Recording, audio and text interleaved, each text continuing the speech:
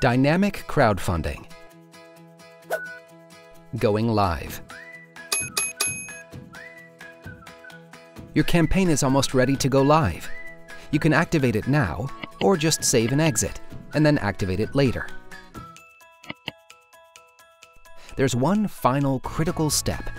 If you haven't yet inputted your PayPal information into the advanced settings of your WishTrip site, you will need to do so before you can receive donations.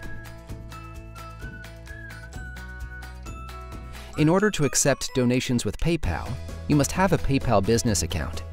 A business account will allow you to generate a client ID and secret, which you should enter here and save.